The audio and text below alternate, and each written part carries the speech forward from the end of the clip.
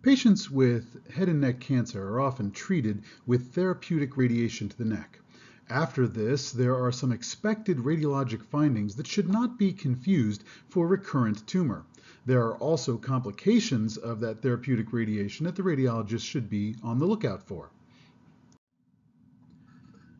The expected findings that we see on CT of the neck after irradiation are thickening of the platysma, fat stranding, increased density of the submandibular glands, and laryngeal edema.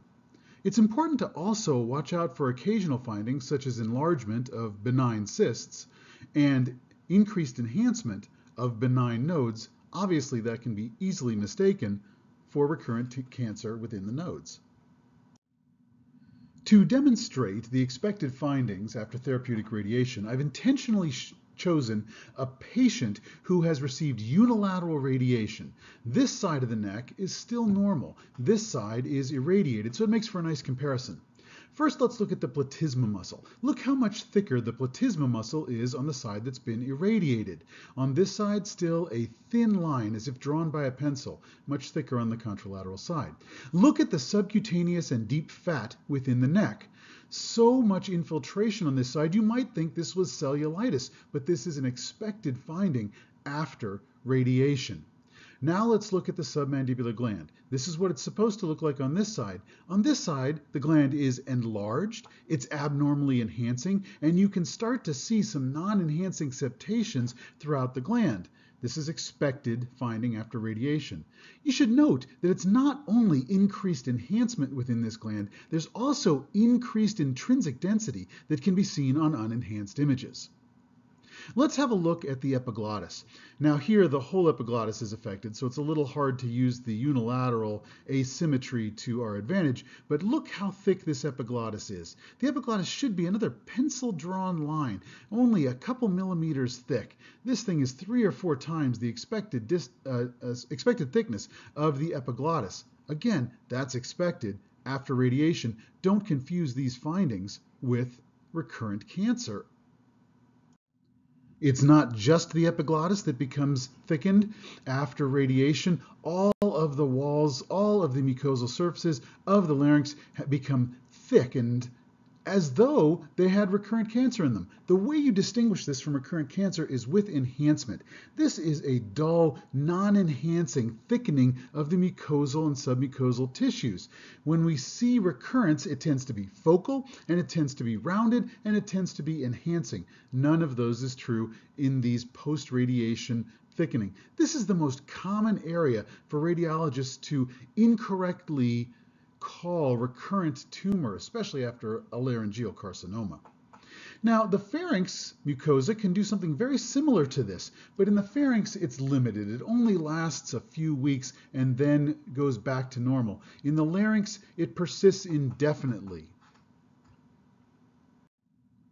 Here's a patient who was previously treated for head and neck cancer, and oh no, there's a necrotic mass sitting right in front of the larynx. That's really concerning for recurrent disease.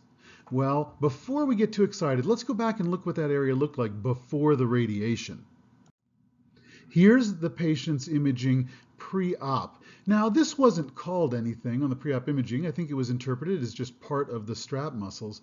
But in retrospect, what we're looking at here is actually a thyroglossal duct cyst, and it's uh, extending through the thyrohyoid membrane, as these often do.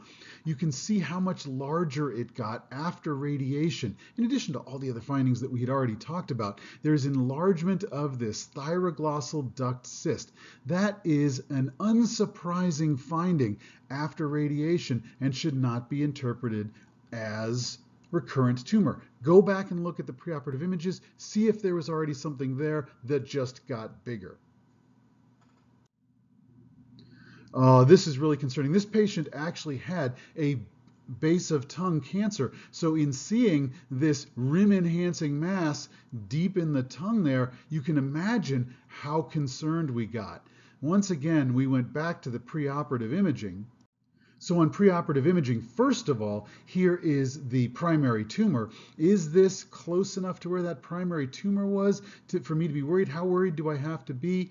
Well, once you recognize that this is in an ideal location for a thyroglossal duct cyst within the tongue at the foramen cecum. It's a classic location. This lobulated appearance, the rim enhancement, is because of the radiation, and this is actually about a centimeter away of where, from where a recurrent tumor would be out here in the lateral oropharynx.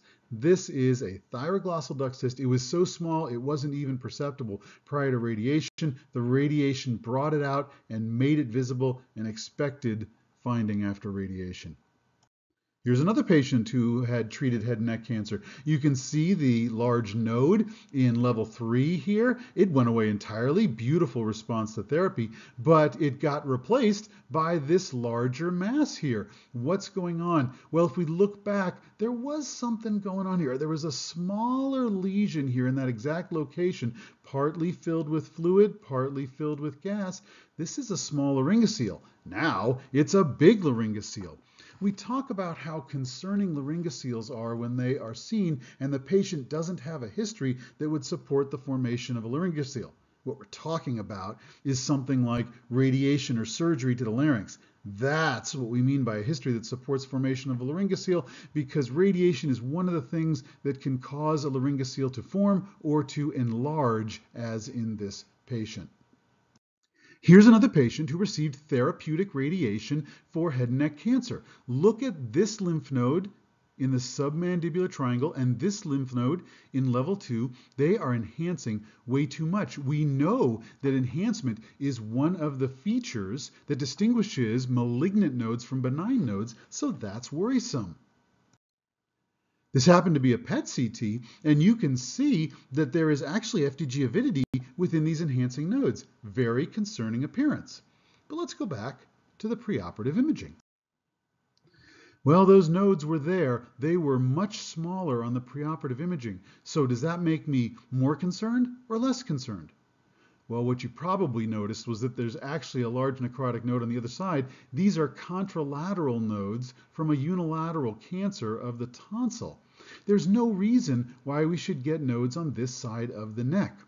These nodes are becoming more enhancing and more FDG avid as a response to radiation. How do we know that that's what's going on? Look at the configuration of these nodes. They are still elongated. They still have a reniform configuration. That's very reassuring.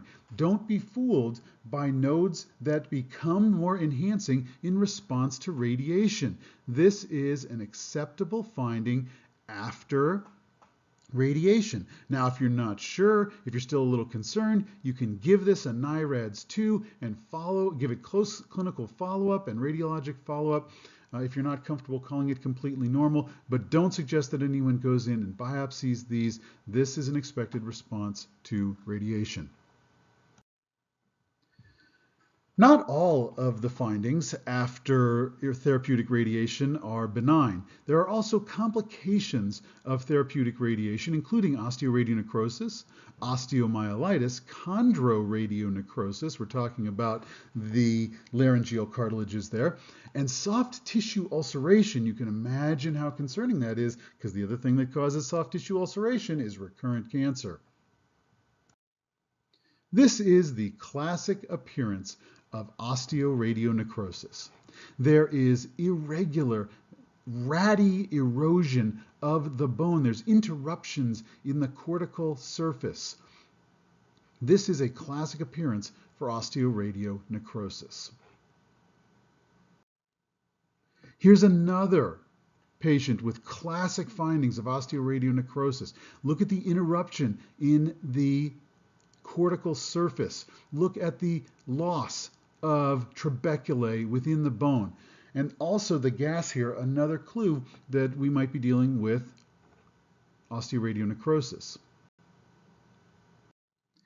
This examination happened to be a PET CT, and you can see that there is no discernible FDG uptake at the site of the osteoradionecrosis. That's exactly what you'd expect. This is dead bone.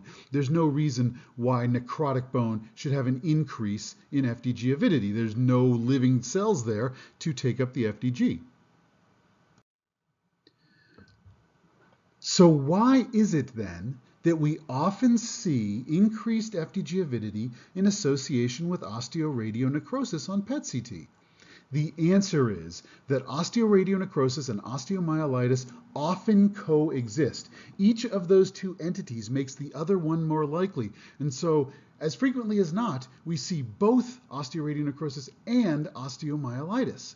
Take this patient, for example. Classic findings of osteoradionecrosis, interruption of the cortical um, surface there, and destruction, erosion of the trabecular pattern within the bone itself. But there's one other finding here. There is periosteal reaction, new bone formation. Uh, this is a Codman triangle and a classic finding of osteomyelitis.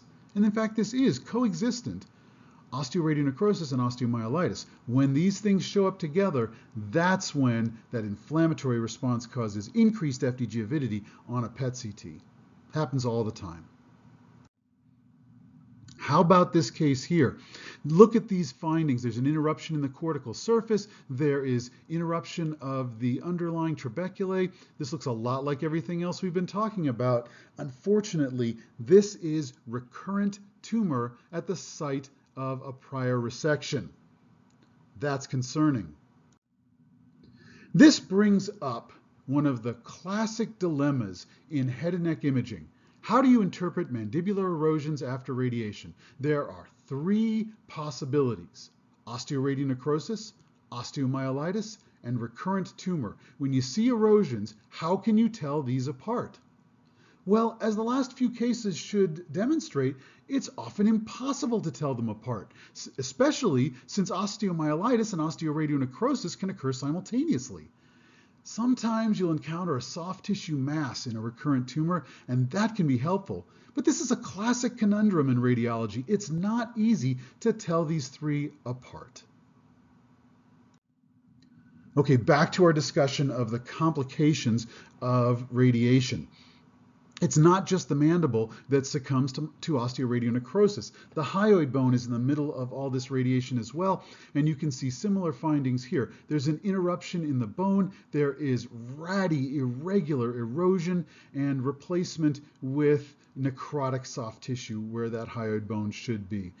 Notice also that there's some gas within the bone itself. That's another important finding of osteoradionecrosis in the hyoid bone even if all you see is that gas forming within the hyoid bone itself, that's still enough to suggest osteoradionecrosis, even if you don't see the classic erosions of the cortex and the trabeculae. I would call that osteoradionecrosis of the hyoid bone. It's not just bones that can be affected by radionecrosis, cartilage can as well. This is chondroradionecrosis. Look at this nice normal arytenoid cartilage. Now look on this side how the cartilage has been replaced with gas bubbles and ratty erosion. It's even extended a little bit into the cricoid cartilage right there. Chondroradionecrosis. Same basic process as osteoradionecrosis, just in the cartilages. The other type of tissue that can succumb to radiation are the soft tissues. You'd expect the normal contour of the posterior oropharynx to be a nice smooth line like this. Instead, there is this big pocket that is extending from the expected mucosal surface back into the retropharyngeal soft tissues. This is an, a soft tissue ulceration. Now, how do I know this is from radiation and not ulceration in the center of a recurrent tumor? Well, I'm not seeing the enhancing tissue all the way around that I would expect to see. This actually is a smooth mucosal surface, even though it's ulcerated. Those are some of the clues that we're dealing with necrosis of the soft tissue from prior radiation and not recurrent tumor that has become ulcerated. But again, a classic radiologic dilemma. Just to review what we've talked about, there are several expected findings after therapeutic radiation of the neck. You almost always see thickening of the platysma, stranding of the subcutaneous and deep fat, dense and hyper-enhancing submandibular glands, and edema of the laryngeal mucosal surfaces. But it's also important to watch out for enlargement of benign cysts like thyroglossal duct cysts or laryngoceles, and enhancement of benign nodes that is easy to mistake for new metastatic disease. Remember also the potential complications from prior radiation, such as osteoradionecrosis and osteomyelitis, which frequently occur simultaneously, chondroradionecrosis, and even soft tissue ulceration. Remember also this classic differential diagnosis in patients who have been treated with radiation for cancer of the oral cavity. Osteoradionecrosis, osteomyelitis, and recurrent tumor can all look exactly the same with erosions of the cortical surface of the mandible and the trabeculae. Little clues may be present, like soft tissue mass in recurrent tumor or elevation of the periosteum in osteomyelitis, but this is a tough differential. And that concludes this brief lecture on the radiologic findings in the neck on patients who have received therapeutic radiation.